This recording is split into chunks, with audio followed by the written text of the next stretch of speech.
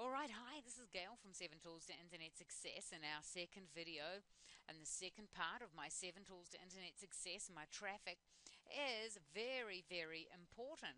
And this particular one is all about keyword research. Now, on the very first one, we looked at finding a product.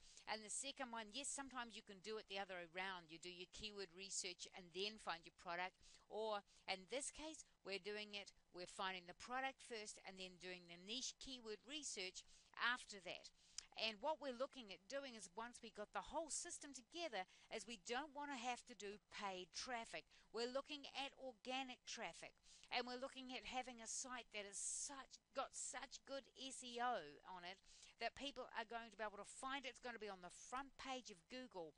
And to do that we've got to find good key words. So we've got to niche it down. Now, if the other video we looked at man boobs, and so if we whip over to um, the software that we're going to use to help us with our niche, I put in the words man boobs, and this is what it's come up with. It's actually called gynecomastia. And so, what we've got here is this amazing piece of software that will help us find the right keywords that we want, long tail keywords, with the right amount of people searching with the right SEO. Um, that is a strength of competition and the correct OCI. And I'm going to explain this in detail on the on the webinar and on the DVDs. It is so important that you get this right at the beginning because we want to be on page one of Google, not page two or page three, but page one. And so we're going to cover this in great length on the webinar to make sure that you get that part correct.